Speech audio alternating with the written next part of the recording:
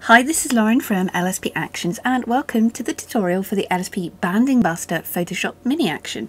This action is for Photoshop Creative Cloud only. If you're using older versions of Photoshop CS4, CS5, CS6, you know the old version a few years ago that you buy as a standalone, um, it just simply doesn't have the capabilities to run this action. So it's definitely worth, if you don't already own Photoshop Creative Cloud, it's definitely worth downloading. Um, and the same goes for Photoshop Elements. So this is for Photoshop full versions of Creative Cloud only. And the idea of this action is you can use it to paint away any of these pesky areas of banding in your image. Banding is quite often happens on a smooth background when you have a transition from dark to light. And quite often it's a purely digital phenomena, but sometimes it is embedded in your image. There is a blog post over on the LSP Actions website, lsp-actions.com, with lots of information about what causes banding and what you can do to kind of minimize banding in your editing workflow. But sometimes you're stuck with it, it happens. Sometimes it can be part of an action. It can be when you've filed um, some vignette, some gradient, when you've kind of had to paint over areas.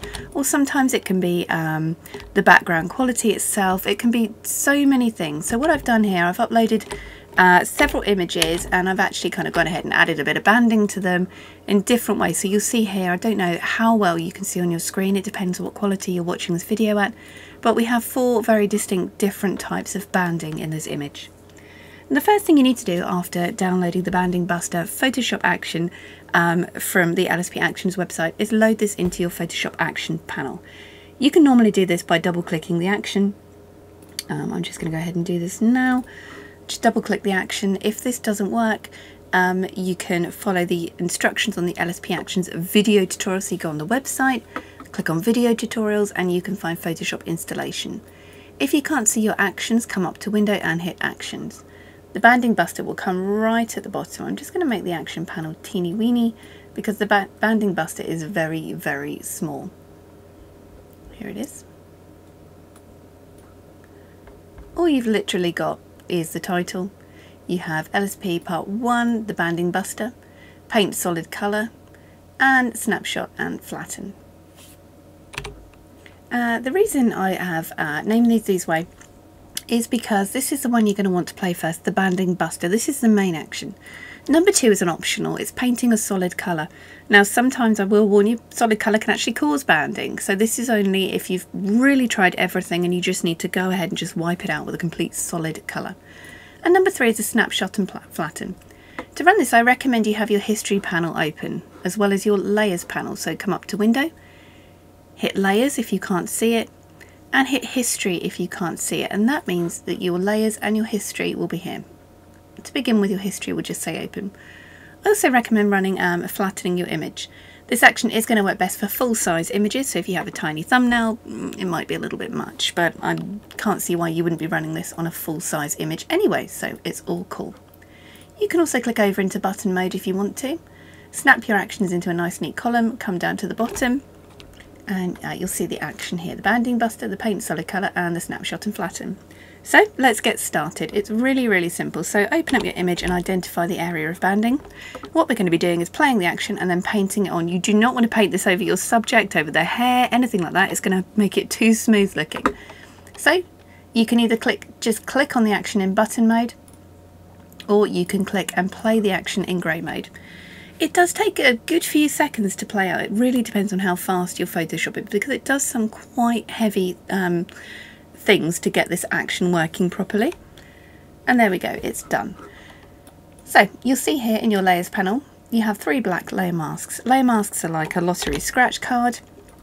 Black means show, white means hide. So you're going to go ahead and grab a brush set to white. I like my settings to be normal, 100% opacity, 25% flow. You can bump this up a little bit if you want to. The first mask is already selected for you. That's the LSP Banding Buster brush. Oof, try saying that after a drink. So we're going to click on here and just start painting over the banding and you'll see it does a really good job of taking it away. Now banding is very digital, it's Photoshop's rendering of an image and gradients within that image, so don't be surprised if it doesn't completely go away. Um, and you can always play the action twice, but sometimes you really don't need to, you know, completely, you just want to reduce it. And if you can just reduce it enough so you're happy, then that's really good for this action. And what you don't want to do is paint this over your subject. So like here, you see the skin and the face is too soft. So if you accidentally do that, grab your brush, set to black, and paint it off the skin. Black means hide, so you can just go ahead. I like to keep my finger, my index finger on the X key of the keyboard, because I can switch easily between a black and a white brush. White to show the effect, black to hide. I do recommend afterwards going around with a black brush around the edge of your subject, just carefully. You can make your brush quite hard as well to make sure it's not adding any kind of haloing onto your subject. So that's quite important. You really don't want to be brushing this over your subject. But that's done a really good job of the banding. Let's just zoom in there. We do still have some colour banding there, but that has really done a good job so far. Let me show you before and after of taking that away. Look at that, a huge, huge difference. All I can really see now is that maybe a tiny bit of green and purple in there.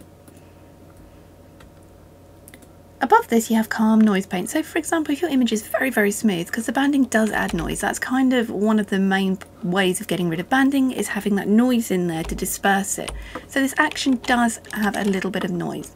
If it's too much, you can click on the calm noise paint up here and just brush that over and it will calm the noise down.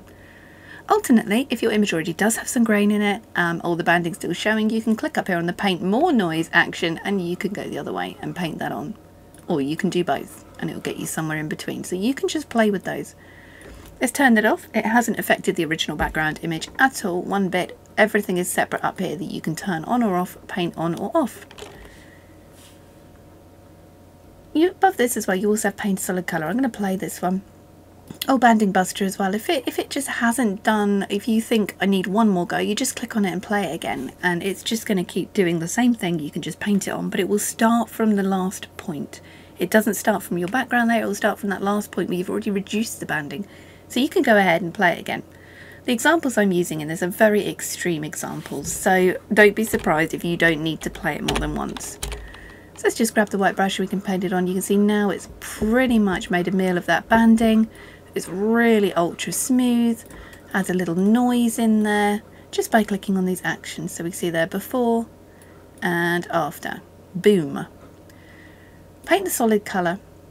And what this one does, you, you, know, painting a solid colour really is a last resort. I've included it in there because in some instances of extreme banding, sometimes you might just want to just do a do-over and just paint over it. What you've got to watch out for is banding. when you're trying to paint over banding, you might inadvertently accidentally make more banding. So just be very, very deliberate where you're painting. So I'm just grabbing a brush. Sorry, the brush is absolutely huge. And the solid colour, you can just dab this over it may be a little lighter or darker than your original image because it takes the average colour in your image to make this colour. So I'm just painting that over. You can see it's quite a bit lighter. So above this we have paint darker. So I'm just going to come over with that. Again, be very deliberate with this because, oh look, we have some banding. So be very, very careful. If you're going to do it, fill the whole area with this. This is a secondary step. This is the last resort if the initial banding buster doesn't fix it for you. So don't feel like you have to do this every time. You can see I'm just coming up and I'm just really using that entire solid block there. I'm not going gentle with this one because if you do, it's going to have some banding. And again, the same thing. Paint lighter if your image, um, if it's the paint, the colour paint's too dark, you can just come in here and lighten it up and just paint it over and then the magic noise. So we can just paint this over if you want to.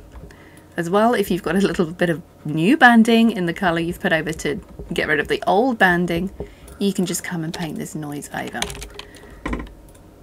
So I'm just going to take those and I'm going to pop them in a group. You don't have to do this. I'm just doing this so I can show you before and after. So before and after. So we've really smoothed that out. I'm just going to come down perhaps just a little bit here. Okay and number three, you have snapshot and flatten. This is where your history panel comes in. So if you play snapshot and flatten, of course, if you want to keep your layers, I recommend going up to image and duplicate. And what this will do, it will open your layers as a new um, image, all your layers, and then you can go ahead and flatten down. I recommend snapshotting and flattening regularly through the editing because the more layers you have, the kind of the slower and more clunkier your edit and your layers panel can get quite confusing. So I like to flatten regularly.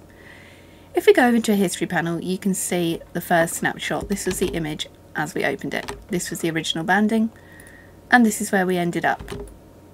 It's gone. So before and after in a few minutes. Look at that huge, huge difference. That was before the tonal paint and that was after. So ideally try and do it before, but if it's really, really heavy and you really need to get it gone, use the tonal paint. So let's go again. This image here, back to the layers panel, I'm going to play the banding buster. Da -da -da. For some reason it puts this song in my head. Okay, so I'm going to grab a white brush and let's just paint over the banding. So you can see there's going to be no need for a solid colour. That is completely dispersing the banding there. And there we go. What I can also see though, this image is very, very smooth. So you can see the difference here if I get a very, very hard brush between where I'm painting. Can you see that? There's quite a lot of grain compared to the original image. Now really this isn't going to show in print or anything, but if you're a perfectionist like me who likes polishing those pixels, come up here to the calm noise paint and just paint this over with a white brush. And that's just going to calm it down just enough to keep the banding at bay but also um, it's going to make sure that your image isn't overly grainy. And again, perhaps your image is already noisy and the banding even with the noise looks too smooth and in which case you can paint on more noise like this. This image doesn't need it. So I'm going to snapshot and flatten and we can take a look at before. Here we go, and after. Boom, boom, boom. I don't know, I hope you can see that on your screen because that's a huge difference. Okay, and this one here, there is some banding in this shadow of this image here. And I can tell just by looking at it, that is not a digital phenomena, that is actually there in the pixels. So that is something we're going to need to minimize. But also when it's there in the pixels, um, it can be a little bit harder to banish. So you might still end up with some, but if you're adding the noise, if you're playing this action through, it's, um, you know, it's going to be so barely noticeable. So let's play the banding buster to get started. Okay, and you can see that's doing a great job of smoothing it down already. We don't have the gradients in there, those lines between the gradients. There's some going on up here as well, so I'm just going to cover that whole area. Again, you don't want to paint over the skin because look, it does weird things. If you accidentally do that, you grab a black brush and just go back over it to reveal the, um, the sharpness. For example, here I'll show you if you accidentally paint this over here, it's going to look very odd. So bring those details back in with a black brush if you accidentally paint over. So that has done a great job. I mean, those, these areas are actually here in the image. So that's done a fantastic job. Um, I'm going to play paint solid colour. And that's just playing out. This one actually takes a little bit longer. It's got to do a lot of figuring out in your image. It selects the subject. It kind of removes it. It does a lot behind the scenes, this action, to get that, um, that average colour of your image.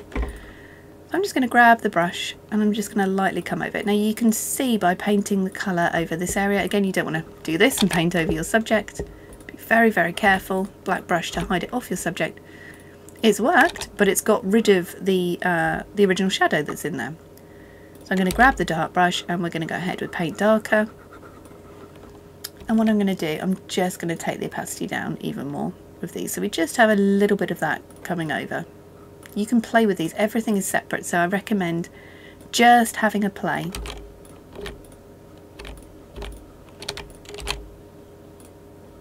Okay. Uh, let's snapshot and flatten. In fact I'm going to take that down even more because it's just taking too much of that shadow away. Okay but I'm happy with that. As a good compromise. So snapshot and flatten. Up into the history panel. Let's see where we were.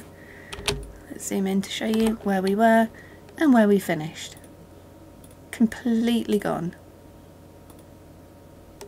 And that will print really nicely. Just watch the noise, use the action in there for reducing the noise if you need to. The layer here uh, to calm the noise, you can just run that over and that will calm it right down.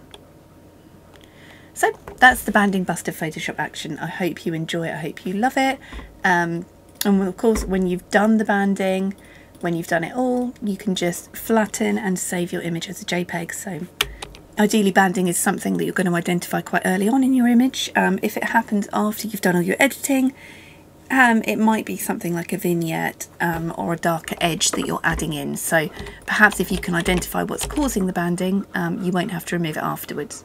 So I've just played the action. I'm just painting away this banding really, really quickly. That's pretty much done. I mean, that's a huge difference. You can still see some colours, colour difference, so I'm just going to play it again. Play the banding buster again. You can do that. You can paint the solid colour. Again, solid colour is definitely the second choice in this case. So if it's nearly done and you think, well, that, that banding, you know, was really, really strong, just play it again. And then we're going to paint over it again, and that's pretty much done it. So two hits are sometimes better than one. We do have this because it's it's going darker to lighter. Now snapshot and flatten, and we can see this big, big difference in the history panel where we were before. Can you see that? I'm going to zoom right in. You see these lines right here and after they've gone. Literally they've gone. That's another thing with uh, banding. Quite often if you zoom out it's worse. It's because it's, it's Photoshop is rendering um, the preview of your image constantly. It's working with your graphics card. It's doing lots of things. And if it had to show you every pixel absolutely perfect, your computer would be super slow. So it has to make a compromise somewhere. So if you zoom in to around 100%, that will give you a better picture of uh, what the banding is actually like. So that's what it actually like, and that's what it's like now. Massive, massive difference in these.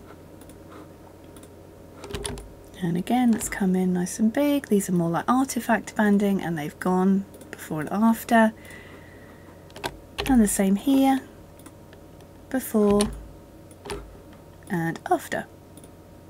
Perfect but it would really depends on your individual image. Um, it depends on you know so many so many factors. It depends what caused the banding. It depends why the banding's there. It depends if it's digital, if it's real, if it's in the print. All of these things. So these actions should hopefully cover all the bases. If in doubt, play it twice, and then third time, paint solid colour. Be careful of extra banding and then snapshot and flatten and whatever situation you were in to begin with it's going to be 10 times better at the end and you can also read the blog post over on lsp-actions.com, how to reduce banding. That goes into a more technical way of talking about banding that I've put together with some lots of um, kind of manual things you can also try to get rid of that banding. But hopefully this action will really see you through. I'm Lauren, thanks for watching.